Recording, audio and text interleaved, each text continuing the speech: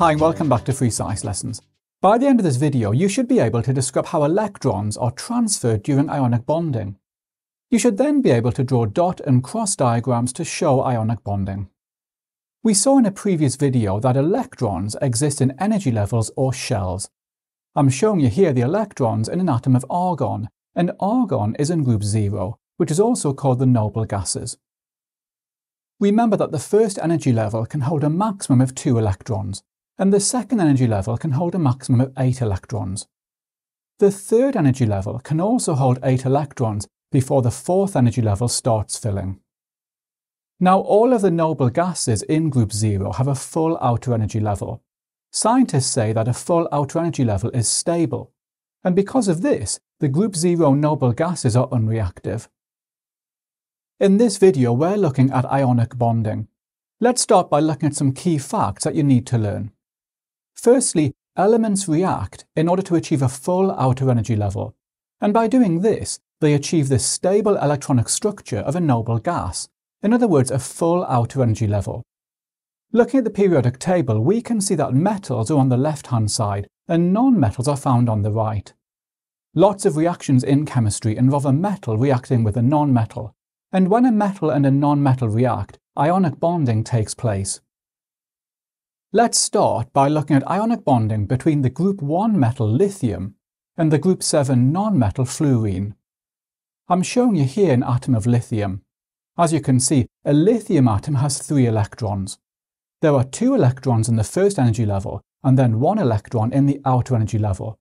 And remember that electrons have a negative charge. Lithium atoms also have three positive protons in the nucleus. Now, because there are the same number of protons and electrons, the charges cancel, so an atom of lithium has no overall charge. Here's an atom of fluorine. A fluorine atom has 9 electrons.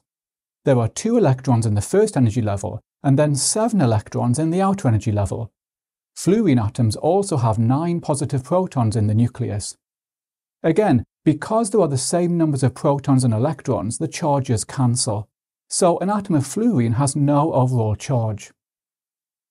Now I'm using dots to show the electrons on the lithium atom and crosses to show the electrons on the fluorine atom.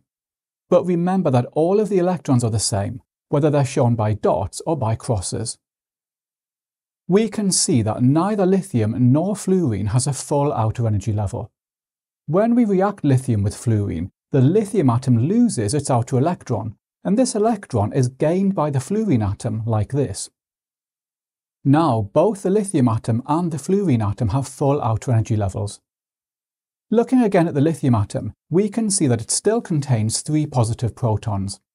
However, now the lithium atom only has two negative electrons.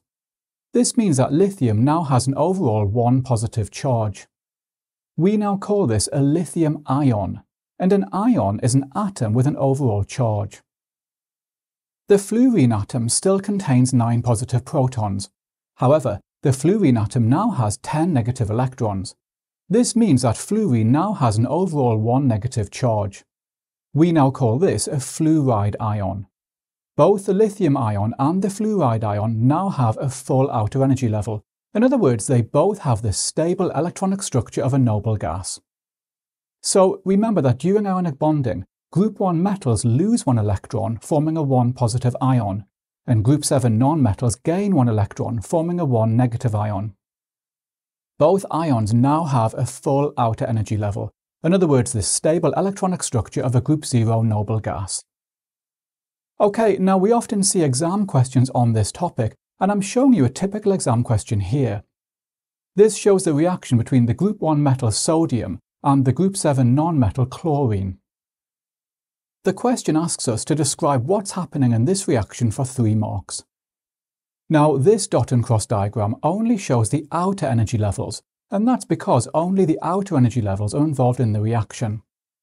So we would say that one electron passes from the sodium atom to the chlorine atom, and both atoms achieve a full outer energy level. You'll find plenty of questions on this topic in my Vision workbook, which you can get by clicking on the link above.